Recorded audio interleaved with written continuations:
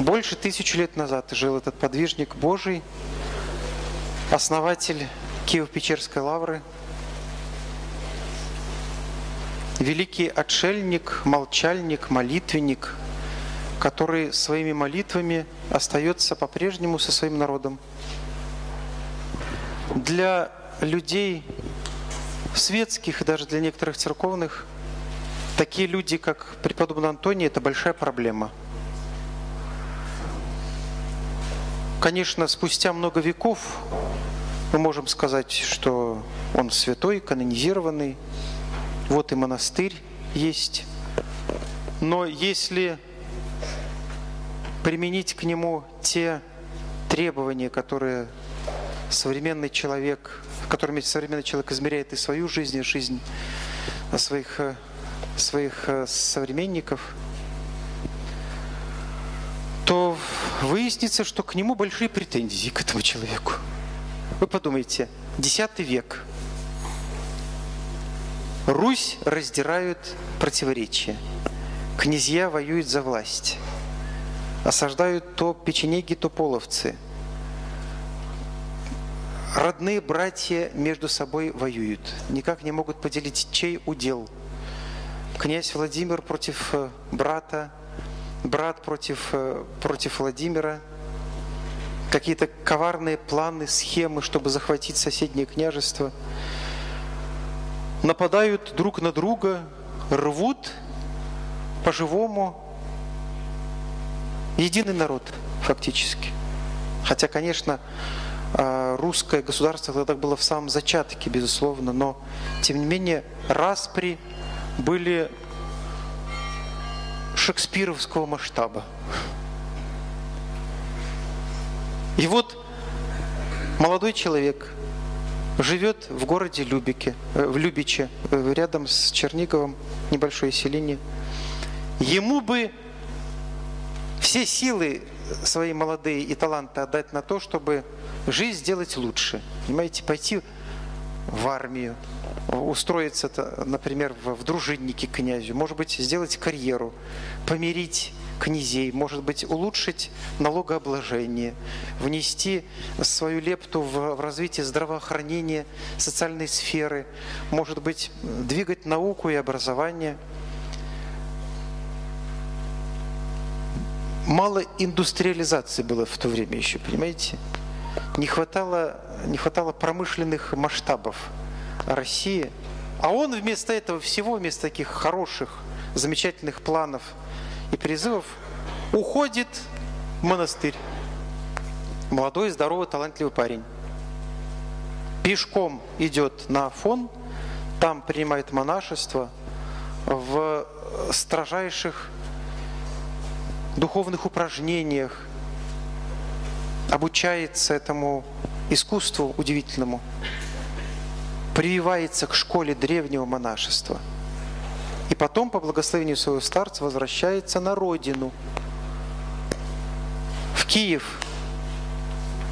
И там роет себе пещеру в отвесном, крутом склоне Киевского холма. Таких людей, которые от большого дела бегут куда-то, у нас называют дезертирами – а почему называют дезертирами?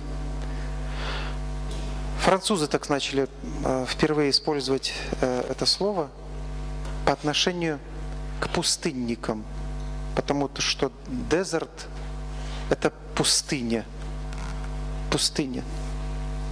Тот, кто уходил в пустыню от большого дела, строительства государства, общественной работы, называли пустынником, дезертиром.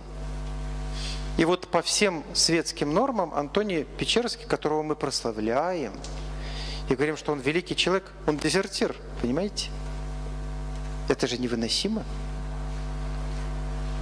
Он действительно дезертир, потому что он пустынник. И вот этот человек таким парадоксальным шагом, который не одобрял никто из его близких, и даже в следующем поколении, когда начали приходить а к нему ученики, как преподобный Феодосий Печерский, это не вызывало энтузиазма у близких родственников. за Феодосием Печерским, молодым, тоже цветущим, талантливым юношей, приехала мама. Руки у боки, я тебе поспасаюсь. И вытащила его из пещеры, устроила драку, скандал страшный. А, были, а, были некрасивые совершенно сцены, а, недостойные э, основания Печерского монастыря, но это было. И тем не менее старец Антоний всю свою жизнь, трудную, постническую, провел на этом месте по благословению старца. Куда его старец направил, как солдата, поставил на пост. Вот так вот он и остался в Печерской лавре. И похоронен там в неизвестном месте. И не сдвинешь его, потому что это его молитвенный пост. И к нему сошлось так много людей, которые там, в этих пещерках, спасались, молились, закапывались вглубь земли. И это произвело на, на несколько поколений русских людей такое сильнейшее впечатление, что э, преподобных печерских старцев впору называть равноапостольными, потому что они нашли правильный ключ проповеди евангельских слов – они поняли, как достучаться до сердец грубых, очень плотских русских людей, которые погибали в язычестве. Это же было детское состояние души. У Агнии Барто есть такое стихотворение, забавное, трогательное. «Мне не хватает теплоты», сказала мама дочке. А дочка отвечает, мерзнешь ты и в летние денечки. Ты не поймешь, мала еще, сказала мать, устала. А дочь кричит, я поняла, и тащит одеяло. Ребенок понимает все буквально. И вот преподобные старцы, святители Христов выходили к русскому народу очень грубому, который понимал, вот, вот земля, вот меч – вот крепкая моя рука, вот у меня лошадь есть. Это то, что можно потрогать. И тут приходят люди и говорят, сердце сокрушенное, смиренно Бог не уничижит. Какое сердце? У меня бьется нормально. У меня все хорошо. Э, стенокардии нету, не наблюдается. Ему говорят, в глубине нужно сокрушать свое сердце, в самой глубине молиться Господу. В какой глубине? Закапываться в землю, что ли? И старцы действительно закапывались, чтобы оттуда достучаться до сердец, чтобы превратить свою жизнь в осуществленную метафору, если хотите.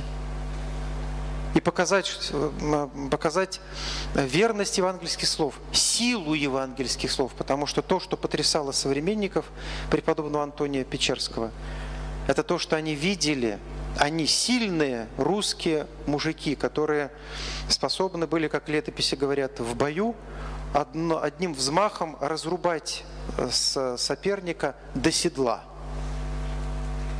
И так целый день бороться. Представляете, какие были крепкие ребята. И они понимали силу, они понимали только то, что можно потрогать. И вот приходят старцы – которые не отличались, э, знаете, субтильностью тоже. Они не говорили, не цитировали, как я, стихи поэтов, не, не, не листали книги, не изучали языки. Они своей жизнью показывали вот эту силу и мощь Евангелия. Такую силу, перед которой наши крепкие ребята с крепкими железными мышцами дрогнули и прониклись глубочайшим уважением перед подвигом Антония Печерского, Феодосия Печерского, тех старцев, которые сидели э, добровольно, уходили в затвор, в глубину земли и питались одной просфоркой в день. Кружка воды и просфорка, и все. Не наши эти праздничные просфорки, эти, знаете, там месяц ешь и никак не думаешь, где же оно там заканчивается. А такие дробные просфорки, как горошинки. Сидит, Богу молится – тем более молились не по книжкам, потому что большинство из них были неграмотные. Наизусть выучивали псалтирь, наизусть. Уходили в, по, под землю, сутками молились на, на, на хлебе воде, презирая болезни, все, все, что влечет за собой вот такая жизнь. В землю себя закапывали. это потрясало воображение русских, грубых русских людей. И они переживали какой-то внутренний переворот. У них сердце таяло, как масло в жаркую погоду.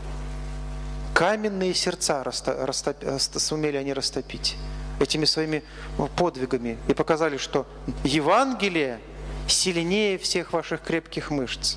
Евангелие сильнее железа, копий, мечей, конниц, колесниц.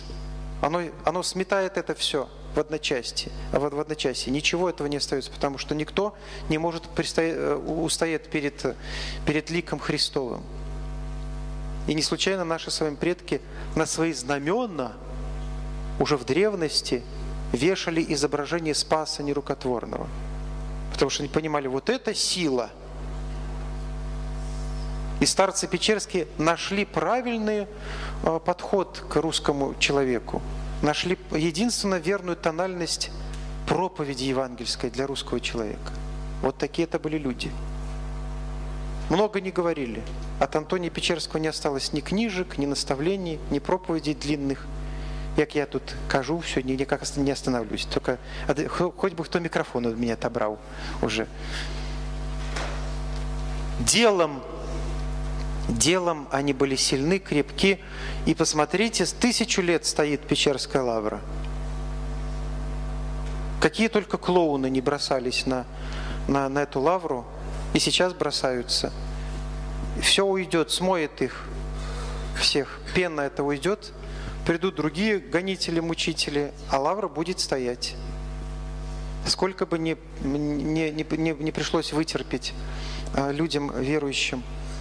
Потому что молитвы старцев, великих, крепких мужей, которые перед Господом стояли как столпы, как монолиты, скалы, их не сдвинешь. Даже если будет казаться, что все, все погибло. Нет, нет, их молитвы никуда не уйдут. Поэтому, друзья мои, мы под серьезной защитой, под очень крепкой рукой мы находимся. У нас святые так, Боже мой, я вам скажу. Ребята крепкие очень. И э, под, под, э, под этой защитой, за этими плечами, за, за их молитвенными благословениями мы, мы, знаете, с вами выстоим и э, действительно всегда получим от них поддержку, потому что рядом с, с этой удивительной крепостью было всегда нежное русское сердце, сердце милующее ко всей твари, добродушное, всепрощающее русское сердце. И оно бьется и у нас в груди, потому что тот, кто говорит по-русски, тот и русский на самом деле. Вот тот и причастен к этому молитвенному щиту, который нас всех, русских людей, защищает. Аминь.